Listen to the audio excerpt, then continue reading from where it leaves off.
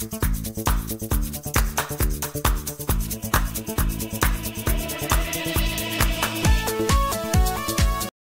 Friends நான் உங்க SKA பேசுறேன். திடீரென பல்டி அடித்துள்ள அமெரிக்கா. இஸ்ரேலுக்கு முழு ஆதரவாக போர்க்களத்தில் இறங்கிவிட்டது அமெரிக்காவும் நேட்டோ நாடுகளும் அப்படின்னு சொல்லலாம். உண்மையாகவே சொல்றேன் அமெரிக்கா மட்டும் கிடையாது அமெரிக்காவும் பிரிட்டனும் அல்மோஸ்ட் நேட்டோ படையினே சொல்லலாம். ஏமனில் உள்ள ஹவுதி படையை சரமாரியாக தாக்கி அழிக்க ஆரம்பித்து விட்டார்கள். இது ஒரு பெரிய வளைகுடா போராக மாற ஆரம்பித்து விட்டது. அமெரிக்காவும் இஸ்ரேலும் ஹவுதி ஹமாஸ் இரண்டு இனத்தையுமே எப்படி காலி செய்ய முடிவு செய்து விட்டார்கள் என்ற விஷயத்தை இந்த வீடியோவில் தெளிவாக பார்க்கலாம்.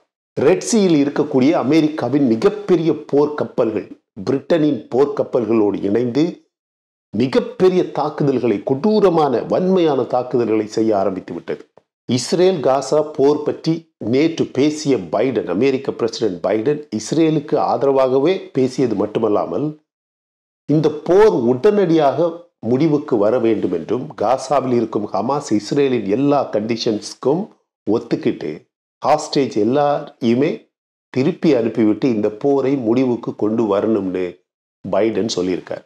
ஆனால் அதே நேரத்தில் இஸ்ரேலில் பேசிய இஸ்ரேல் பிரைம் மினிஸ்டர் நத்தன்யாகு அவர் சொல்கிறாரு அதெல்லாம் அப்படி செய்ய முடியாது அதெல்லாம் அப்படி நடக்காது.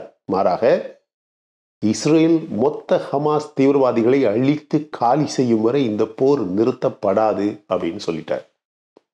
நீங்கள் பாருங்கள் ஃப்ரெண்ட்ஸ் அமெரிக்காவும் சரி நேட்டோவும் சரி இஸ்ரேலை எதுவுமே செய்ய முடியாது.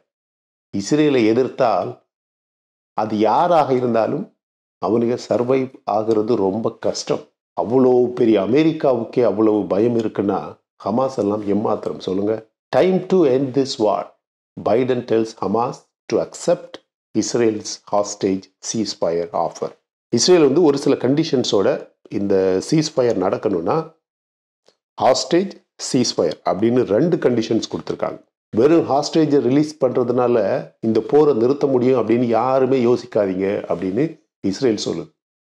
ஆனால் பைடன் சொல்லியிருக்காரு. அதாவது அமெரிக்கா சொல்லுது we are making all the effort எதுக்கு? Bring all the hostages home ensure Israel security create a better day after in Gaza without Hamas in power and sets the stage for a political settlement that provides a better future for Israelis and Palestinians alike அப்படின்னு சொல்கிறார் அதாவது எல்லா ஹாஸ்டேஜையுமே திரும்ப கொண்டு வரணும். Israel பாதுகாப்பாக இருக்கணும். காசாவின் நிலை நல்ல நிலைக்கு மீண்டும் திரும்பணும். மீண்டும் திரும்பணும் அப்படிங்கிறதே தவறு. அவர் அதோட விடலை ஹமாஸ் ஆட்சி இனிமே அங்கே வரக்கூடாது. அப்புறம் இஸ்ரேலுக்கும் பாலஸ்தீனுக்கும் ஒரு சமரச நிலை ஏற்படணும் அப்படின்னு சொல்கிறார் அதுக்காகத்தான் அமெரிக்க அரசு இவ்வளவு நாளும் இந்த போர் தொடங்கிய நாளிலிருந்தே ரொம்ப கஷ்டப்படுது அப்படின்னு பைடன் சொல்கிறேன் இங்கே தான் அமெரிக்கா சரியாக யோசிக்கணும் மை ஃப்ரெண்ட்ஸ் நீங்கள் பாருங்கள் ஹமாஸ் ஆட்சி இனிமே காசாவில் இருக்கக்கூடாதுன்னு அவர் சொல்கிறார் அப்படி இருக்கக்கூடாதுன்னா அது ஹமாஸ் என்ற கூட்டம் இருக்கிற வரைக்கும் எப்படி நடக்கும் சொல்லுங்க? ஹமாஸ் என்ற கூட்டம் இருக்கிற வரைக்கும் பாலஸ்தீனிலும் சரி காசா ஸ்ட்ரிப்பிலும் சரி வெஸ்டர்ன் பேங்க்லேயும் சரி எப்பவுமே அமைதி இருக்காது. இந்த பகுதியில் பொதுமக்கள் பொதுமக்கள்னு சொல்றோமே அது யார் சொல்லுங்க? அவர்கள் எல்லாருமே ஹமாஸ் கூட்டத்தால் பிரெயின் வாஷ் செய்யப்பட்டு சுத்தமாக ஹமாஸ் போலவே யோசிக்கக்கூடிய கூட்டம்தான் மக்கள்தான். அங்கே அதிகம். அதுதான் இந்த ஹமாஸ் தீவிரவாதிகளுக்கு இருக்கக்கூடிய மிகப்பெரிய ஸ்ட்ரென்த் மிகப்பெரிய பலம். நீங்க அந்த அக்டோபர் ஏழாம் தேதி நடந்த மிருகத்தனமான தாக்குதலை கொஞ்சம் நல்ல க்ளோஸாக பாருங்க. எல்லாருமே தீவிரவாதிகளா? கிடையவே கிடையாது. காசா மொத்த பாலஸ்தீனிலும் இருக்கக்கூடிய பொதுமக்கள் எல்லாருமே ஆயுதங்களுடனும் கம்புகளுடனும் இஸ்ரேலுக்கு இஸ்ரேல் வீடு வீடாக சென்று அப்பாவி மக்களை சூறையாடின காட்சியை பார்த்தீங்களா இல்லையா? தீவிரவாதிகள் அப்படி பண்ணலாம். ஆனால் மொத்த நாட்டின் பொதுமக்களை காப்பாற்ற வேண்டிய அரசும் மிலிட்டரியும் அவனை தண்டிக்க கூடாதா? அதை செய்யக்கூடாதா?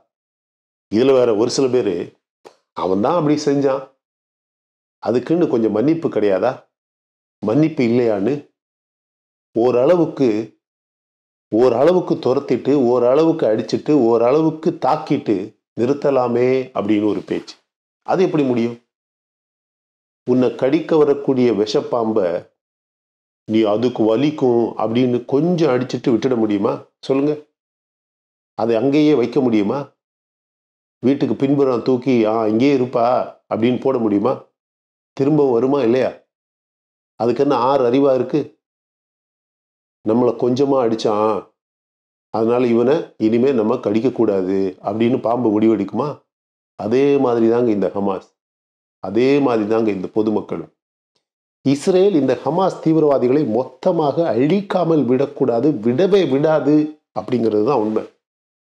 அமெரிக்கா என்ன சொன்னாலும் இஸ்ரேல் காதில் விழாது. அவன் காதில் விழவே விழாது. Netanyahu is insisting on eliminating Hamas அமெரிக்காவுக்கு கோபம் வரும். வரட்டும். தன்னுடைய நாட்டை தன்னுடைய மக்களை பாதுகாக்க எனக்கு உரிமை இருக்குன்னு சொல்லும் இஸ்ரேல் அரசும் மிலிட்டரியும் இப்போ ரொம்ப கண்டிப்பாக இருக்கு. Netanyahu says no permanent Gaza ceasefire until Hamas destroyed ஹாஸ்டேஜஸை மட்டும் நீங்கள் விட்டுடுறதுனால இந்த போரை நிறுத்திடுவேன் அப்படின்னு எவனுமே கனவு காணாதங்கிறார். இசேஸ் நோ பெர்மனன்ட் சீஸ் ஃபயர் காசாவில் பெர்மனண்டாக சீஸ் ஃபயர் இனிமேல் போர் நடக்காது. நாளை காலையிலேருந்து போர் நடக்காது. அப்படிங்கிற ஒரு சுச்சுவேஷன் வரவே வராது அன்டில் ஹமாஸ் டிஸ்ட்ராய்ட் எல்லா ஹமாஸுமே அழியிற வரைக்கும் காசாவில் மொத்தமாக ஒரு சீஸ்ஃபயர் அப்படிங்கிறது கிடையவே கிடையாது. ஒரு நாளைக்கு ஒரு நூறு குண்டு போடுறத ஒரு பத்து குறைச்சிக்கலாம். ஒரு நாளைக்கு ஒரு இருபத்தஞ்சு போர் விமானம் பறக்கிறத ஒரு அஞ்சு குறைச்சிக்கலாம். ஒரு நாளைக்கு இருநூறு பீரங்கிகள் மூவ் ஆகிறத ஒரு இருபத்தஞ்சு குறைச்சிக்கலாம். இதுதான் அவரோட ஐடியா டோட்டல் சீஸ்பயர் மொத்தமாக போர் நிறுத்தம் அப்படிங்கிறது நடக்கவே நடக்காது until these guys are destroyed American official says Israeli offer meets all Hamas demands with very minor adjustments அதாவது இந்த ஹாஸ்டேஜஸை விடுறதுக்கும் இந்த போரவும் நிறுத்தணும்னாலும் இஸ்ரேல் வந்து கொஞ்சம் கண்டிஷன்ஸ் கொடுத்துருக்கு. அது அமெரிக்க அரசும் அமெரிக்க இன்டெலிஜென்ஸும் ரிவ்யூ பண்ணிட்டு இப்போ அமெரிக்க அரசு வெளியிட்டிருக்கக்கூடிய ரிப்போர்ட் என்னன்னா இஸ்ரேல் போட்டிருக்க கண்டிஷன்ஸை பார்த்ததுக்கப்புறம் ஓரளவுக்கு கொஞ்சம் சின்ன சின்ன அட்ஜஸ்ட்மெண்ட் பண்ணினா போதும். ஹமாஸ் எதிர்பார்க்குற மாதிரியே எல்லா கண்டிஷன்ஸும் அதில் இருக்குது அப்படின்னு அமெரிக்கா சொல்லுது. அதே நேரத்தில் ஹமாஸோட தலைவர் ஒரு ரிப்போர்ட் வெளியிட்டிருக்காரு. Hardening stands Hamas says it won't negotiate unless IDF halts fighting Israel defence force வந்து போரை நிறுத்துற வரைக்கும் போர் அப்படின்னு சொல்கிறத விட தாக்குதலை நிறுத்துற வரைக்கும் நாங்கள் பேச்சுவார்த்தைக்கே வரமாட்டோம் அப்படின்னு யார் சொல்கிறா ஹமாஸோட தலைவர் சொல்லியிருக்காரு.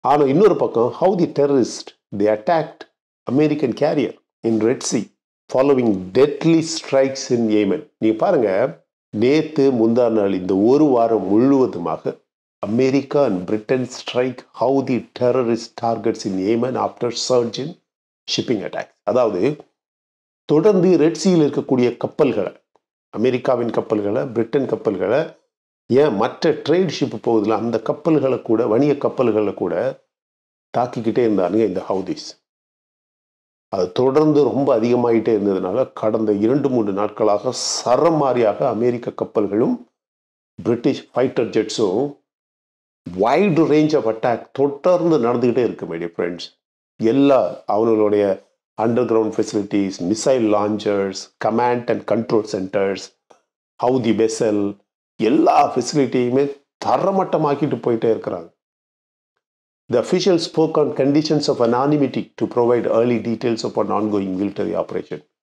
A proper military operation. உக்ரைனில் போர் தொடங்க முன்னாடி ரஷ்ய அதிபர் புட்டின் சொன்னார் பார்த்தீங்களா I am not going for a war it is a military operation அது மாதிரி இவனுங்க இது வார் கிடையாது. தீவிரவாதிகளை அழுக்க தீவிரவாதிகளை அழிக்கக்கூடிய மிலிட்டரி ஆப்ரேஷன் அப்படின்னு ஒரு பெரிய தாக்குதல் நடந்துக்கிட்டே இருக்கு. இப்போ நடந்துக்கிட்டு இருக்கு. Americans were uncrewed aerial vehicles in Houthi controlled areas of Yemen. அமெரிக்காவுடைய ஃபோர்ஸும் கோலிஷன் ஃபோர்ஸ் ஃபோர்ஸஸும் பிரிட்டன் மற்ற நேட்டோ நாடுகளோட ஃபோர்ஸஸும் வந்து தொடர்ந்து தாக்கிக்கிட்டே இருக்கிறாங்க நீங்கள் பார்த்தீங்கன்னா ரெண்டு நாளைக்கு முன்னாடி அமெரிக்காவுடைய ஒரு எம்கியூ நைன் ரீப்பர் ட்ரோன் ஒரு ட்ரோன் இருக்குல்ல இந்தியாவுக்கு கூட அந்த ட்ரோன் வரப்போகுது. அந்த ட்ரோனை வந்து ஹவுதியோடைய ஏமனில் இருக்கக்கூடிய ஹவுதிஸ் வந்து தாக்கி கீழே கொண்டு வந்தானுங்க. கொண்டு வந்தது மட்டும் இல்லை இவங்களுக்கு பொதுவாகவே ஒரு வழக்கம் ஐடியா ஃப்ரெண்ட்ஸ் மனுஷனை கொன்னாலும் சரி ஒரு ஏதாவது ஒரு தீவிரவாத அட்டாக் செஞ்சாலும் சரி வந்த உடனேயே ஒரு பெரிய செல்ஃபி வீடியோ போடுவாங்க என்னன்னு? நாங்கள் தான் பண்ணோம். நாங்கள் தான் அழித்தோம் நாங்கள் சர்ஃபேஸ் டு ஏர் மிசைல் போட்டு தான் அந்த எம்கியூ நைன் ரீப்பரை கீழே கொண்டு வந்தோம். அப்படி இப்படின்லாம் கதை போடுவானு இது இவனுக்கிட்ட ஆகுமா? சரியா? ரெண்டு மூணு மிசைல் கீழே வந்தது மைடிய ஃப்ரெண்ட்ஸ் ரெட் சீல ரெண்டு மூணு இது ஒரு ஒரு மெம்கியூ நைன் ரீப்பரு கப்பல் இப்படி இப்படின்னு தாக்குச்சு. அமெரிக்கா உண்மையாக சொல்கிறேன் this is the fifth time that America and British militaries have conducted a combined military operation against the Houthi since January twelfth January பன்னிரெண்டாம் தேதியிலேருந்து ஆல்மோஸ்ட் ஐந்து ஐந்து மாதம் முடிய போகுது. இந்த ஐந்து மாதத்தில் அமெரிக்காவும் பிரிட்டிஷ் ஃபைட்டர் ஜெட்ஸும் சேர்ந்து செய்யக்கூடிய ஹவுதிகள் மீதான தாக்குதல் இது ஐந்தாவது முறை. ஆனால் இந்த முறை நடக்கக்கூடிய தாக்குதல் சாதாரண தாக்குதலே கிடையாது. அமெரிக்கா வந்து மொத்த பவரையும் பயன்படுத்தி தாக்கிட்டு போய்கிட்டே இருக்குது அமெரிக்காவுடைய யூஎஸ்எஃப்ஏ எயிட்டீன் ஃபைட்டர் ஜெட் இருக்குது பார்த்தீங்களா அந்த ஃபைட்டர் ஜெட்டு ரெட் சீல இப்போ சுற்றி சுற்றி தாக்குது மை டியர் ஃப்ரெண்ட்ஸ் அவனுங்க ஹவுதிஸ் இப்போ ரீசெண்ட் மந்தில் வந்து இந்த ரெட் சீல வந்து அட்டாக்கை வந்து ரொம்ப ஸ்டெப் பண்ணிட்டானுங்க. சரியா? Red Sea the Gulf of Aden இஸ்ரேலும் காசா வாரும். முடிந்த அளவுக்கு சீக்கிரம் முடிவுக்கு வரணும். சரியா? முப்பத்தி ஆறாயிரம் பாலஸ்டீனியன்ஸ் இறந்த அந்த கவுண்ட் இருக்கும்போதே இவனுங்க தாக்குதலை ஆரம்பித்தானுங்க அக்டோபர் ஏழாம் தேதி இருநூத்தம்பது ஹாஸ்டேஜை தூக்கிட்டு போனானுங்க. ஆயிரத்தி இருநூறு மக்கள் அன்னைக்கு ஒரு நாள்லேயே செத்தாங்க. சரியா? எனவே அந்த தாக்குதல் முடிஞ்சு இஸ்ரேல் தாக்குதல் ஆரம்பித்த உடனே இந்த ஹவுதீஸ் அட்டாக்க ஆரம்பித்தாங்க நீங்கள் பாருங்கள் இந்த ஹவுதீஸ் இந்த ரெண்டு மூணு மாதத்தில் ஆல்மோஸ்ட் ஃபிஃப்டி ப்ளஸ் அட்டாக்ஸ் வெறும் ship American ship trade ship US marine administrations report வெளியிட்டிருக்காங்க. ஷிப்பிங் த்ரூ ரெட்ஸி வந்து மொத்தமாகவே ஹால்ட் ஆச்சு. ஒரு பெரிய த்ரெட் ஆச்சு. எய்டன் கல்ஃப் ஆஃப் எய்டன்லேயும் அந்த ரெட்ஸி வழியாகவும் போகக்கூடிய எல்லா வியாபார கப்பல்களும் போக முடியுமா அப்படின்னு ஒரு சூழ்நிலை ஏற்பட்டது. அப்போ தான் இந்த அமெரிக்கா டார்கெட் பண்ணான். என்னன்னு? ஜோ பைடனும் மற்ற சீனியர் லீடர்ஸும் வந்து தொடர்ந்து அமெரிக்கா மொத்தமாக ஹவுதியை வான் பண்ணிக்கிட்டே இருந்தாங்க. இப்படி பண்ணாத இப்படி பண்ணாத இப்படி பண்ணாத அப்படின்னு.